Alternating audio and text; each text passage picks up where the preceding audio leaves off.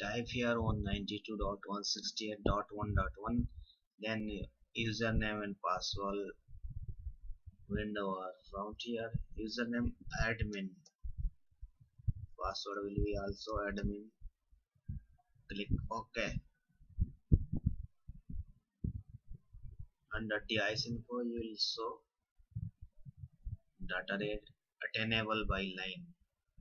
DNS primary DNS secondary DNS provided by ISP how to check SNR and attenuation? For this you will go under device info then statics under ADSL attenuation and SNR will be shown here. Download SNR upload stream SNR and attenuation. For a good SNR for good line condition SNR must be greater than 20 and for good line attenuation must be less than 10 data rate attenuable at this line will be 8 Mbps and 509 for upstream total 8.5 Mbps. How to configure ZTE Wi-Fi modem? Go to advanced setup then here you will see port VCI Wi-Fi 0 0 35 add it. Check here it must be VCI 35 next for automatic connection triple VI over Ethernet. For a single user click bridge. I am going to show you automatic connection triple V over Ethernet next. You will see enter here password username provided by ISP now also empty must be less than 1500 must be 1492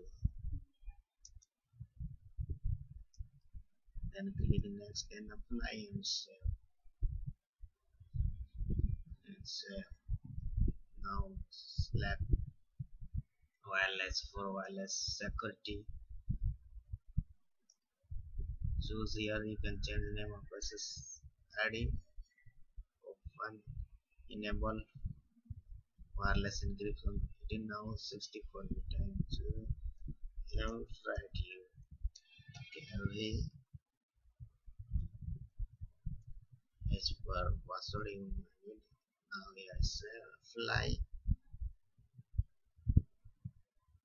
That is ZTE modem. I'm showing you snapshot of SNR of ZTE modem taken by me. SNR here you must see here.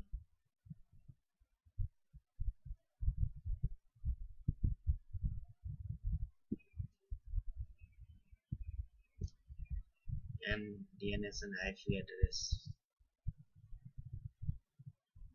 in ZTE modem in similar way I am showing to it how to find SNR attenuation in Teracom modem. Simply go to overview and you will find SNR attenuation and the SP especially it is for BSNL you can see a DNS IP attenuation TC.